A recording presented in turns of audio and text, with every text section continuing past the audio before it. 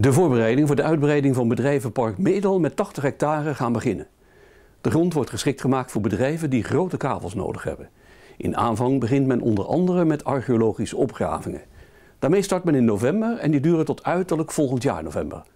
Wettelijk is bepaald dat er eerst archeologisch onderzoek gedaan moet worden om te kijken of er mogelijk waardevolle vindplaatsen in de grond zitten.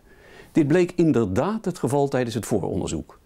Er zijn maar liefst negen vindplaatsen ontdekt, waarvan er nu vier worden opgegraven.